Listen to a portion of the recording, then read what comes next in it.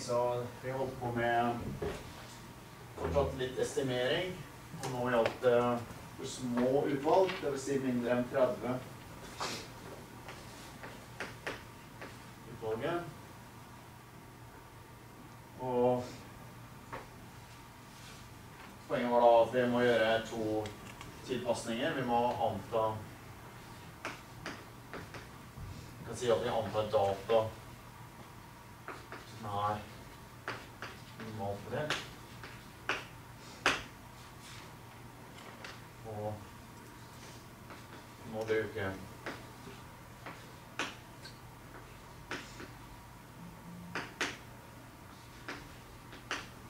sånne fraktiler fra T-fordeling i feilmargin. Det var vel så langt vi kom omtrent. Eh, Og vi så eksempel på disse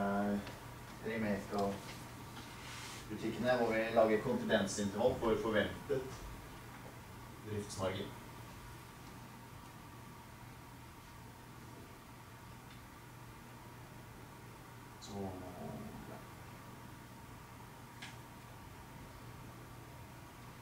Bare ta litt til om det vi snakket om i det eksempelet som vi startet med for mange, mange uker siden.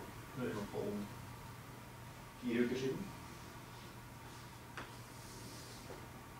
Um, vi snakket litt om noe vi kalte for 99%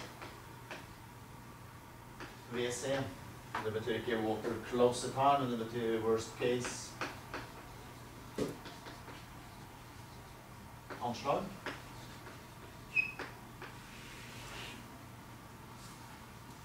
For eh, to ting. For det første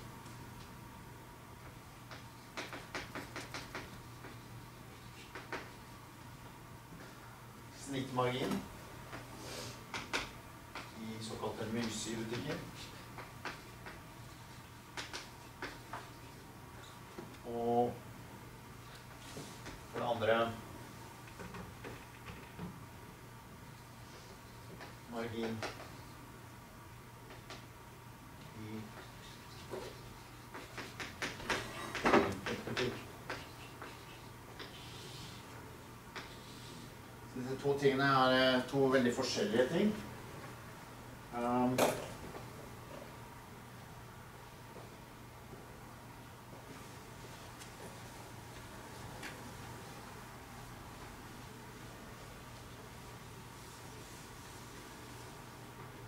I tilfelle én så snakker vi om på en måte my...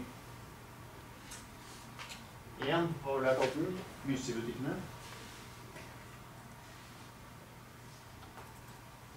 Og vi har jo en viss usikkerhet i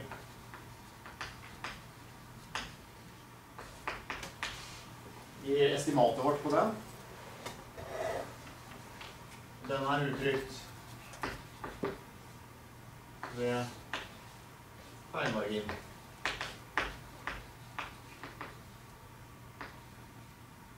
Ja, feilmarginer i konfidensintervall.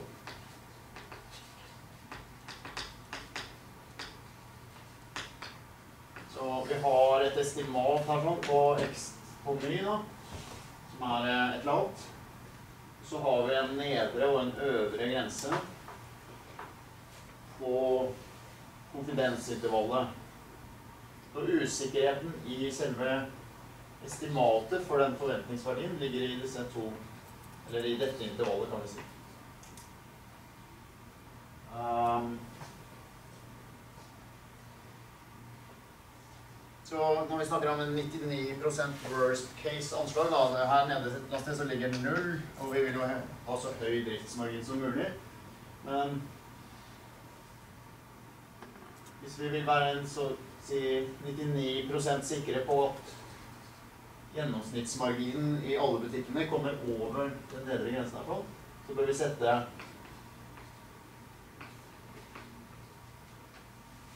lage et slags konfidensintervall som bare kutter av 1% på hver side. Så da snakker vi om 98%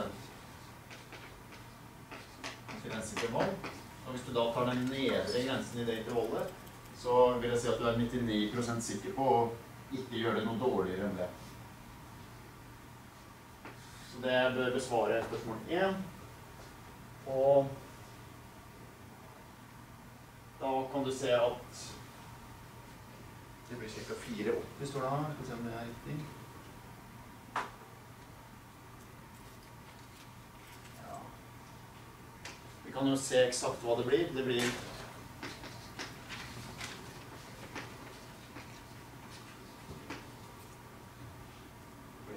X-strek, og så blir det minus T 0, 0 1 og så 56, eller la oss si 55 frihetsgrader her, ganget med S. N. Hvis vi bare sjekker tabellen og finner den, skal vi se.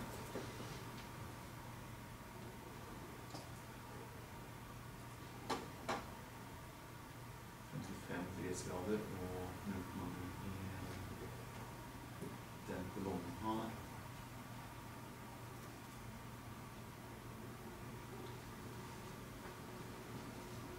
Tre med seks. Og har.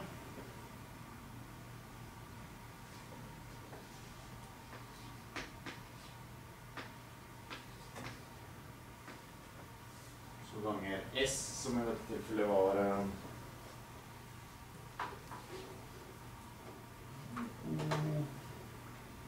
to komma to.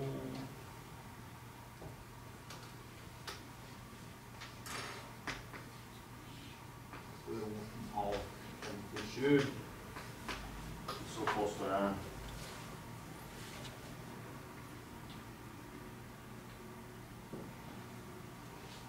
påstår at dette blir ca. 4,80. Vi trenger ikke å regne ut det nå, men det er en små sak å gjøre. Hvis jeg regnet riktig, så skal det stemme. Så da kan vi si at hvis jeg etablerer et stort antall butikker, så vil jeg i gjennomsnitt med veldig høy sikkerhet i hvert fall komme over dette i, i driftsmargin. Det er på en måte poenget med eneren her. Så jeg har en usikkerhet i forventet driftsmargin. Men den usikkerheten er relativt liten, som vi ser. Det var vel Ja. Det var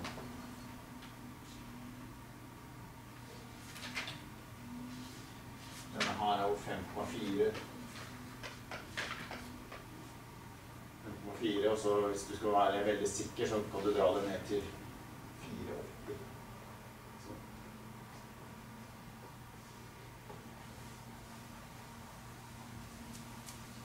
Ok.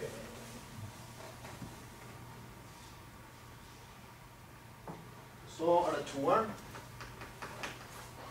Da snakker jeg om noe helt annet, egentlig. Nå snakker jeg om en enkeltbutikk. Helt annet, men noe ganske annet, skal vi si.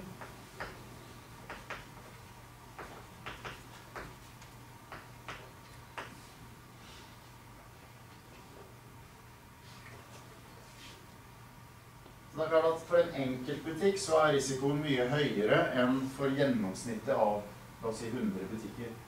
Det er mye større usikkerhet.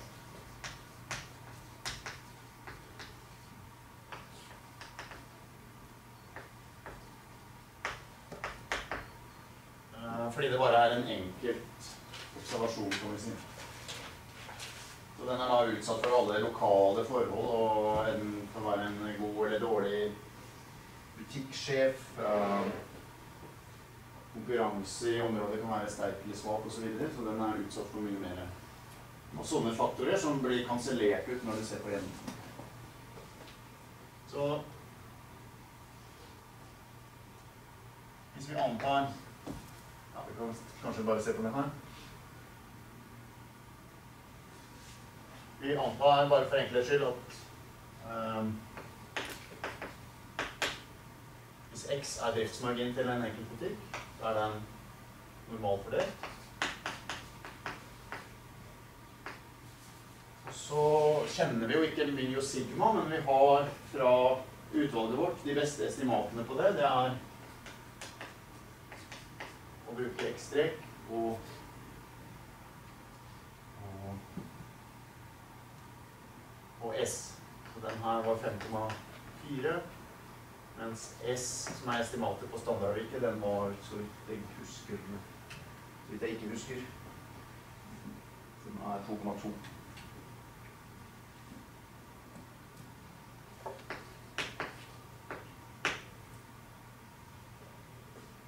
Så det betyr at driftsmarginen i en enkeltbutikk ifølge denne oppsettet her er omtrent normalfordelt. Den har forventet verdi 5,4, men den har et standardavvik på 2,2.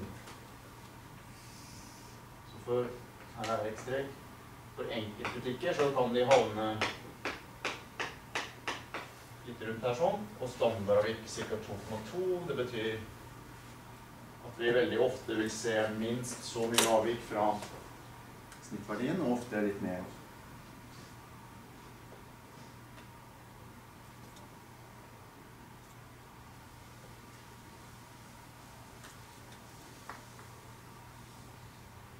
Så for å gjøre en eh, historie som er i ferd med å bli lang, litt kortere eh, Vi antar at fordelingen ser sånn her ut. Snitt 5,4, standardavvik 2,2. Vi er interessert i worst case 99 anslag, så da sier vi hvilken verdi er det her som gjør det bare 1 sannsynlig å være enda lavere. Og den for L. Jo, da vet vi at vi må ta Det er akkurat som å sette et sikkerhetslager på 99% i logistikk, bare at vi skal på andre siden. Så det blir X-strek minus Z099 ganger S.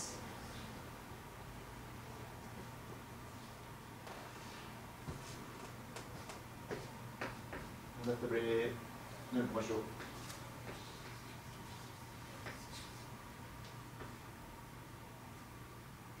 Det er, liksom, det er ikke helt nøyaktig teoretisk riktig, men det er ikke så veldig gærent heller. Um,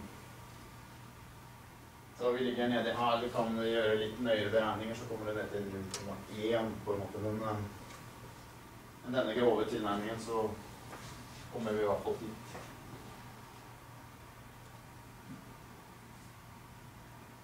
Så det betyr at hvis vi etablerer 100 butikker, så vil vi sånn statistisk sendt 99 av dem i hvert fall gå bedre enn dette her, og stort sett nesten garantert alle går i pluss i forhold til driftsmarginen.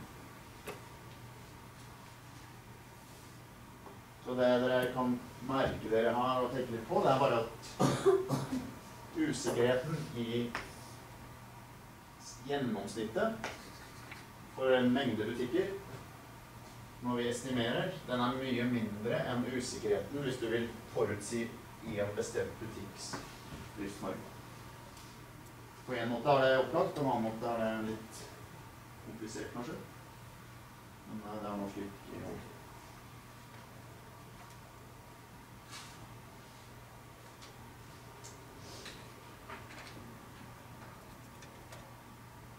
Ja, så da er det en oppsummering som er det samme som jeg oppsummerte rett når jeg startet denne timen her sånn. Og så skal vi puste litt, og så skal vi starte på brukes, ja, Vi har ikke all verdens tid, men vi starter i hvert fall på det siste viktige temaet her, som er hypotesetesten.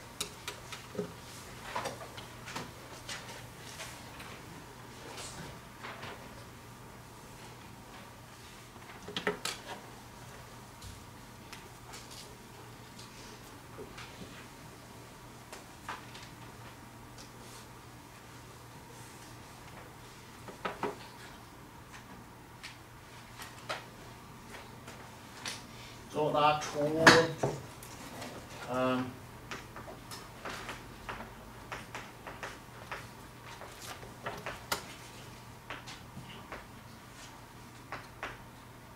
to veldig viktige eller fundamentale ting i statistisk analyse. Um, det ene er konfidensintervaller.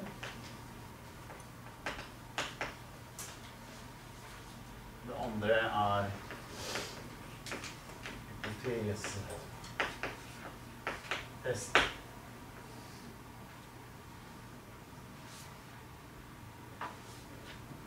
Og I begge tilfeller så dreier det seg om det samme, og teknologien, eller metodene, er på mange måter det samme.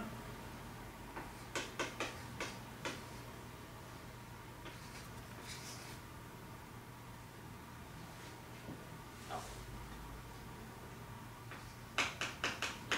Jeg skriver bare sånn, jeg. Lite.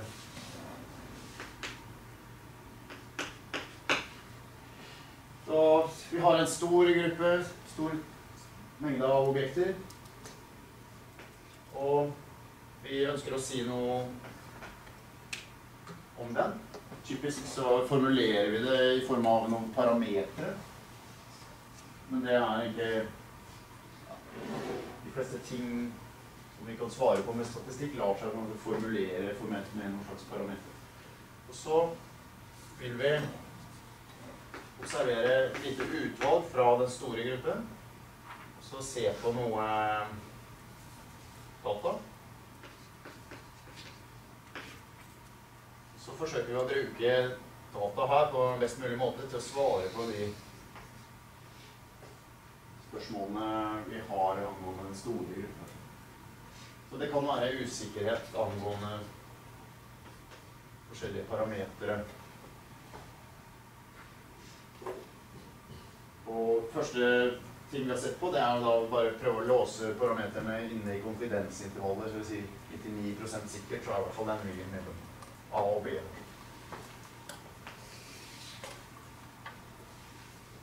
Så dere kommer til å se at disse to tingene her er nokså beslekta og går litt over i hverandre alltid.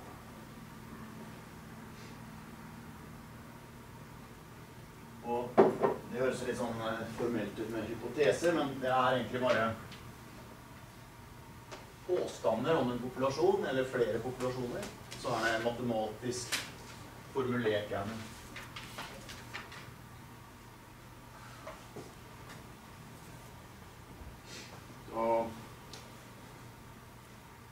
Det vil se at det liksom i teorien så vil det alltid være en koker ned til en, et slags utsagn om en sannsynlighetsfordeling og noen parametere i den. Men de starter ofte med helt sånne dagligdags eh, påstander, da, som at flere kvinner enn menn røyker i Norge, f.eks. Det er en påstand som i utgangspunktet ikke er matematisk. Men eh, hvis du skal analysere det statistisk, så vil du se på andelen av røykere i en populasjon av kvinner i forhold til andelen røykere i en populasjon av menn. Kall den ene for PA, noen for PB. Få noen estimater, og så sier du noe. Så det er veldig viktig å huske at disse, selv om vi jobber innen statistikk, så er disse påstandene det vil alltid være om verden der ute, på en måte.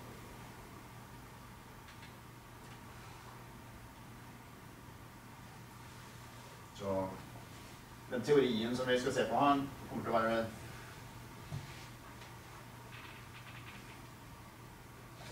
På en måte så kan dere si at resten av kurset er i stor grad ulike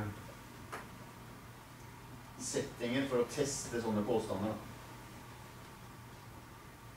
Det vil si hypotesetest.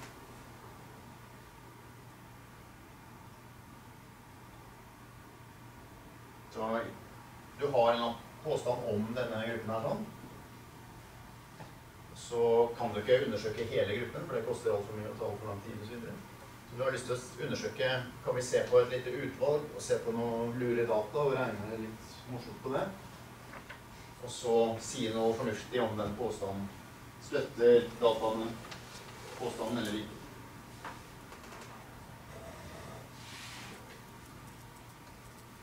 Så bare et par eksempel hvor du har dagligdagse påstander, og så ser vi litt på mulig statistisk formulering av tilsvarende hypotese.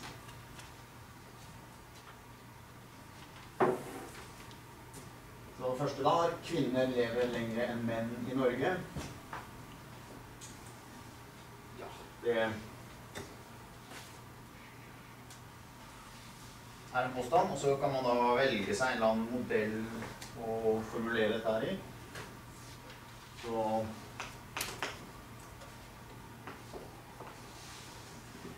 Da går det an å gjøre det litt forskjellig, men én måte er å se på alle kvinner som døde i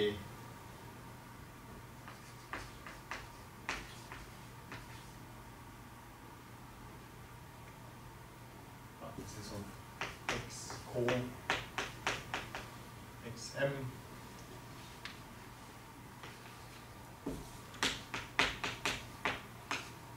For å ta alle som døde i 2013. Noen av de var kvinner, og noen var menn, selvfølgelig. Og hva var alderen på de mennene og de kvinnene som døde? Uh,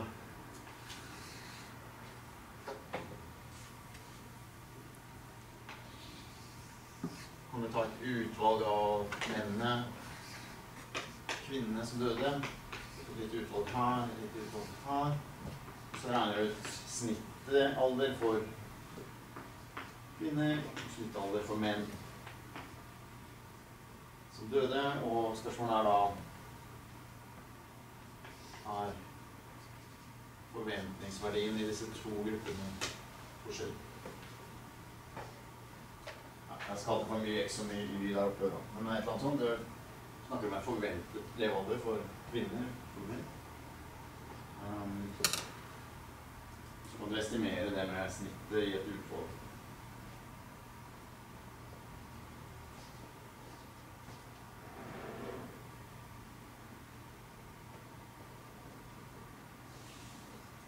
Så det er ikke helt 100 opplagt hvordan man skulle formulere spørsmål her, men uh, dette er bare én måte. Man kunne kanskje se på, istedenfor døde, se på levende. Hvor mange 90-åringer over 90 er det blant kvinner og menn osv.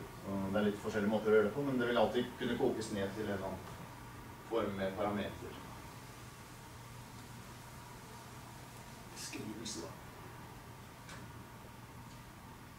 Eh, nummer to, det er en sånn påstand som uh, Mattilsynet kan kunne komme med. Eller mistanke, egentlig. Pakker med kjøttdeig fra Gilde har mer enn 10% fett, som er det maksimale tillatte innhold. La oss anta det bare. Da har du fra Gilde en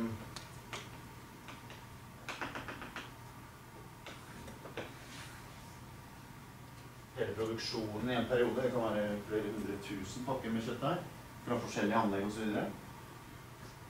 Um, og vi kan ikke pakke opp alle de pakkene og så begynne å måle fettinnholdet i hver av de. Da blir både Mattilsynet og Gilde slitne. Um, så må man si at ok, vi påstår at mye er større enn 10, og så tar vi ut et blindt lite utvalg fra produksjonen, og så måler vi her. Hva var fettinnholdet i den, hva var fettinnholdet i den.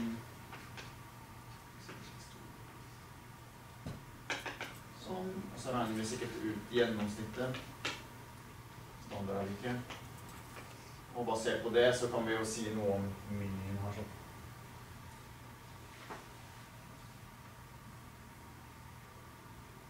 Vi ser allerede at vi kan jo regne ut et konfidensintervall, og det vil jo si oss noe om rimeligheten av den påstanden her. Sånn. Så vi skal jobbe i veldig sånn beslekta terreng matematisk og statistisk. sett.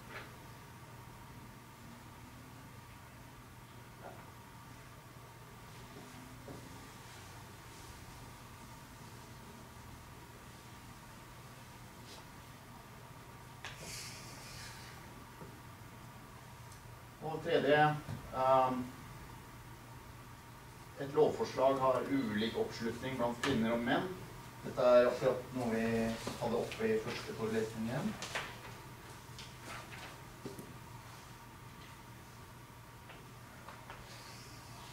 Eh, Alle norske stemmer ved kvinner.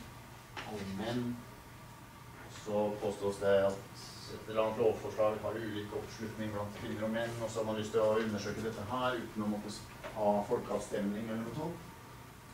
Og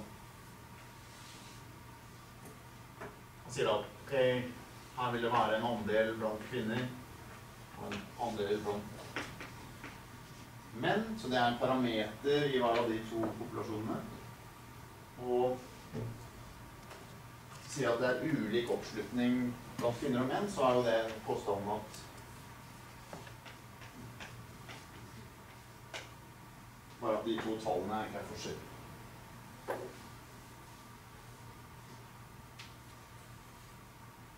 Og hvordan gjør vi en analyse av det? Jo, vi tar utvalg igjen.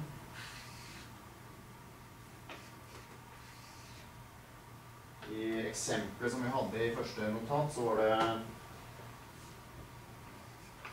90 kvinner og 96 menn. Og det viste seg at vi fikk et estimat på kvinner som var for et eller annet forslag. Det var 61 0,61. Og samme andel av menn, den var 0,47. 47% av menn. Og 61% av 90 kvinner har for. De estimatene er selvfølgelig forskjellige. Så er spørsmålet er dette såkalt signifikant.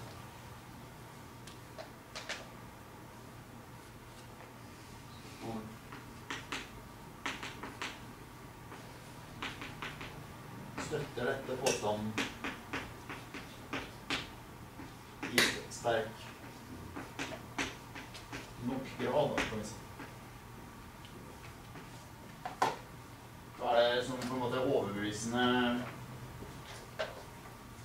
data i forhold til å påstå dette. Nå husker jeg ikke svaret på det i eksempelet da, men det skal vi komme tilbake til.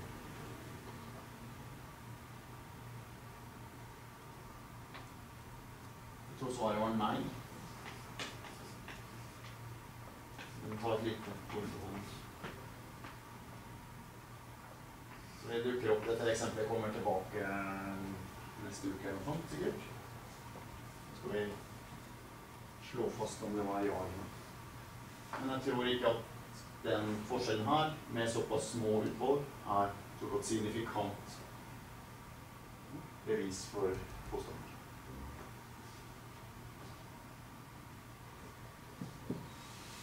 Ja,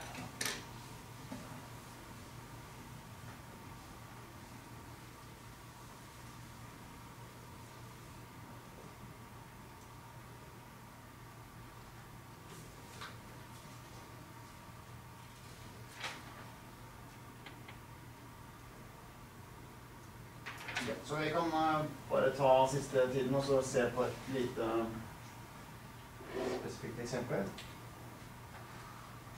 Bare for å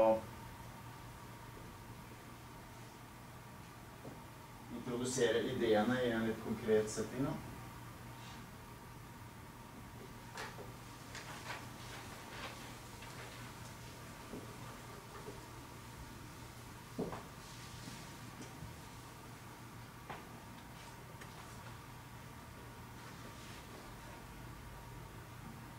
Så vi har dette eksempelet med kjøttdeigpakke fra Gilde. Og her er på en måte en akse som viser prosent fettinnhold i disse kjøttdeigpakkene.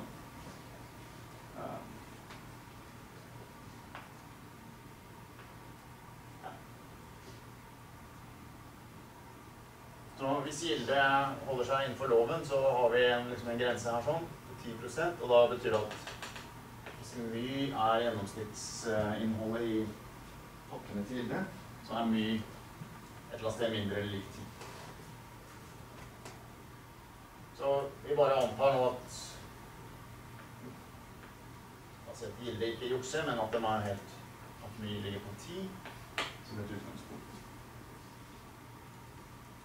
Så vil det jo være sånn Det som er problemet her med eller grunnen til at man trenger statistikk i et sånt spørsmål i det hele tatt, er jo at vi har en hel eh, svær gruppe med sånne pakker. Og fettinnholdet i en pakke vil være litt variabelt. Så vi må beskrive det som en tilfeldig variabel. Vi kaller det for x.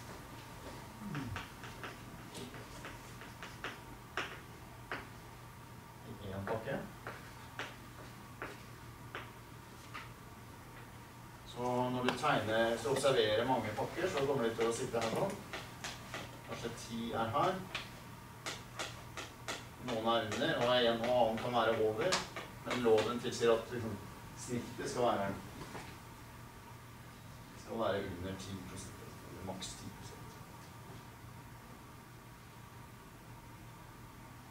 Så dette varierer litt, og derfor må vi beskrive også et standardavvik.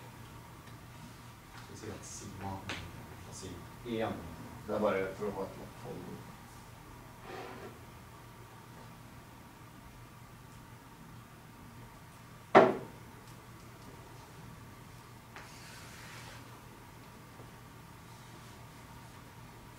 Så vi bare antar nå at som står her da, Vi antar at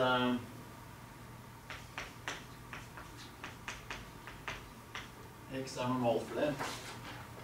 med forventningsverdi 10, så gilde jukser ikke faktisk. Og standardavviket er 1.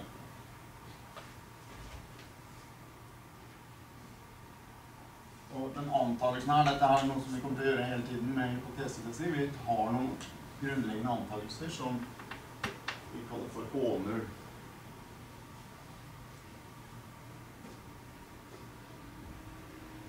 Så antakelsen H0 betyr egentlig at gilde er på, innenfor loven, men akkurat på grensen til å være ulovlig. Og hvis vi skal gå til sak eller kjøre prosess mot gilde, så må vi ha noe slags Vi må ha sterke indisier på at dette ikke er sant. da. Egentlig at H0 ikke er sant.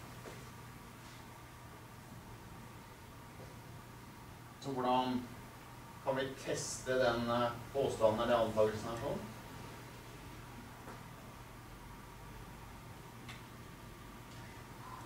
Jo, det er jo bare én måte å gjøre det på, egentlig, sånn i praksis. Det er å ta ut noen pakker her sånn.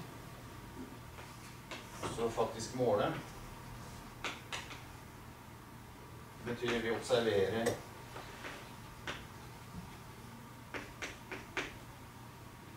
X-verdien for en pakke.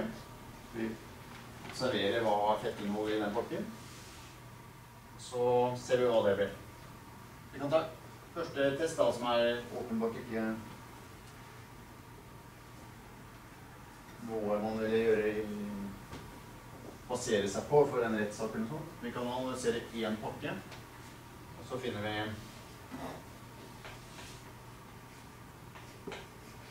11,2.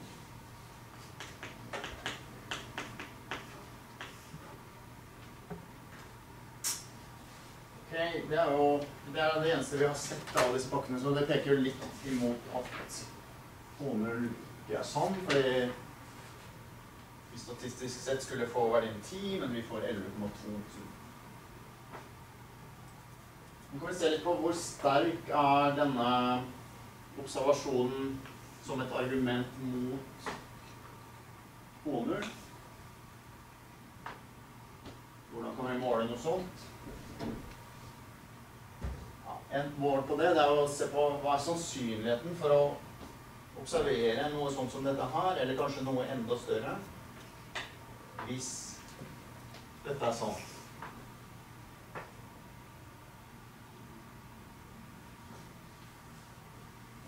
Ok, det er ikke noe vanskelig å regne ut det. Vi vet at under H0-antakelsen så er X standard normal for det. Eller ikke standard normal for det, men den er normal for det. Og vi kjenner den er 10, og den er 1. Så da er det ikke noe vanskelig å regne ut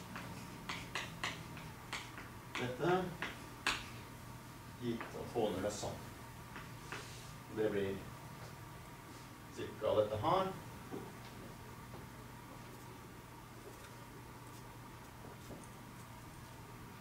Må se om det stemmer. Det stemmer ganske bra. Det vil si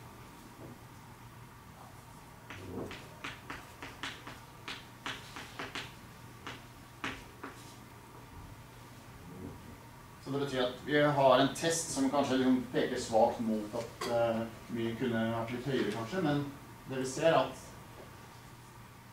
den observasjonen er sånn har 11,5 sjanse for å inntreffe hvis Hånen er sann. Så hvis Hånen er sann, dvs. Si at gildet holder seg til loven, så vil vi allikevel ca. litt mer enn hver tiende pakke faktisk har så høyt innhold som dette her. Eller høyere. Og det er da ubrukelig som bevis eller som en for at du i det hele tatt vil starte en rett.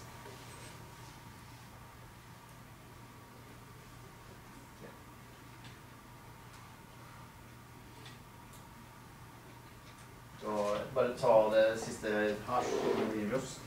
Um, det som dere skjønner, som vi trenger å gjøre istedenfor å ta én pakke, det er å ta litt mange pakker. Så kort sagt, vi har test to. Nå tar vi ikke bare én pakke, vi tar 50 pakker. Så vi tar et virkelig utvalg, regner ut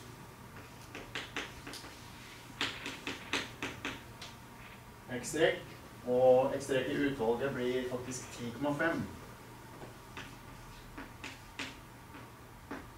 Og spørsmål hva sier denne observasjonen om H0? Så poenget nå, kort sagt, er at vi kan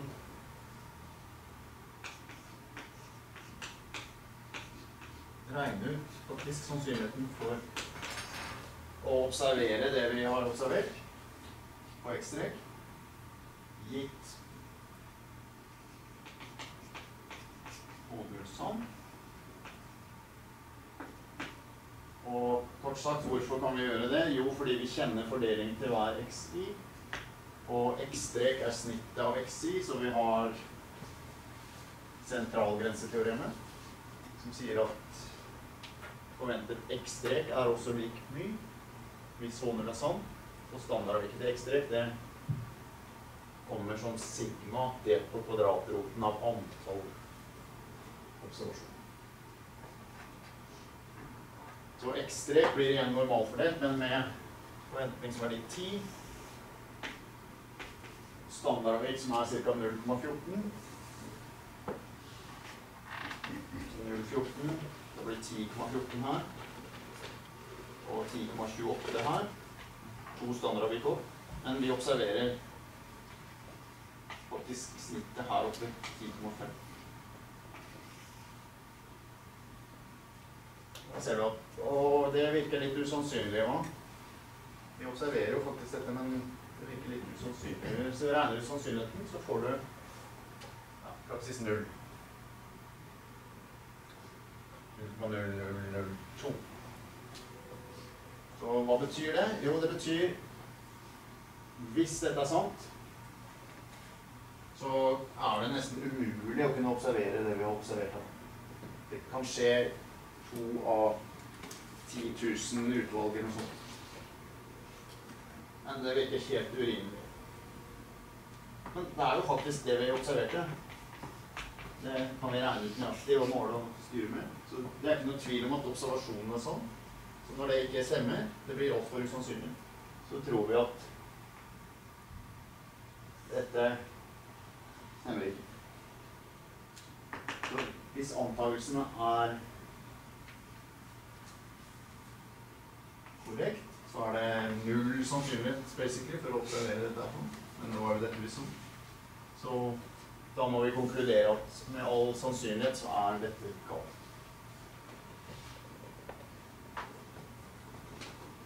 Så nå var H0 litt sammensatt her. sånn. Den inneholdt noen antakelser både om my og sigma osv. Men i hvert fall så er det noe som er feil her. Og det kan godt være da at my egentlig ikke er 10, men kanskje 10,3, 10,4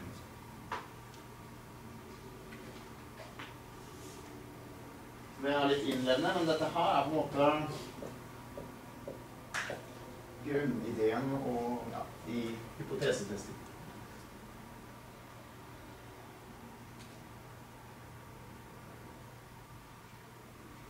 Så da kommer vi til slide 19 og 1, så vi har litt å jobbe med neste uke. Um, fredag er det bare å levere inn i posthylle en nobling. Eller ikke en nobling, men en besvarelse for en nobling. Um, og ikke noe regneøvelse på fredag. Nå møtes vi igjen neste tirsdag. Nei, onsdag. Stadig problemer med dagene her. Kurs.